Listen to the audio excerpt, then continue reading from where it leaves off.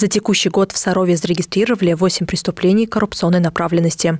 В основном случаи были связаны с тем, что руководители предприятий знали о ненадлежащем качестве поставляемых товаров и услуг и не принимали мер по расторжению договора о поставке, получая из этого выгоду.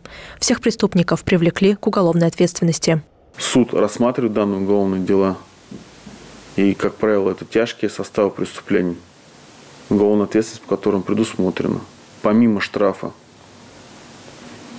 Естественно, если лица, совершившие данное преступление, находятся в смягчающих какие-то обстоятельства, или он идет на сделку с правосудием, возмещает материальный ущерб, то суд может исключить лишение свободы. У коррупции много разновидностей. Это не только взяточничество, подкуп, но и незаконное присвоение товаров и услуг, которые предназначены для общественного потребления, кумовство и другие злоупотребления своим служебным положением для обогащения. В ряде случаев подарки и вознаграждения тоже могут быть отнесены к преступной деятельности. Это зависит от стоимости и значимости презента.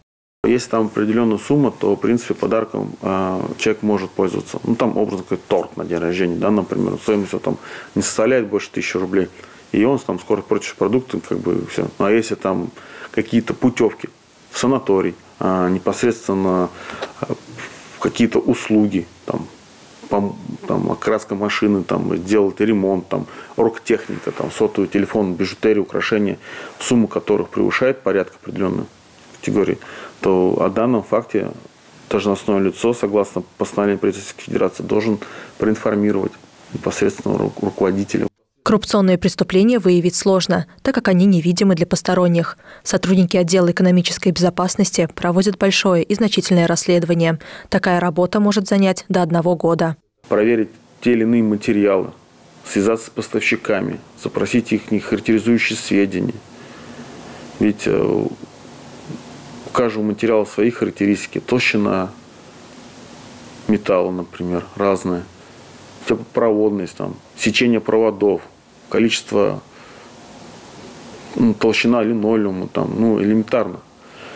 То есть есть такие факты в Сарове, то, что подрядчики используют более, так скажем, некачественные материалы – в прошлом году в стране зарегистрировали 35 тысяч преступлений коррупционной направленности, что составляет менее 2% от всех правонарушений. Светлана Ярунова, Евгений Шикарев, Сергей Рябов. Служба новостей Саров, 24.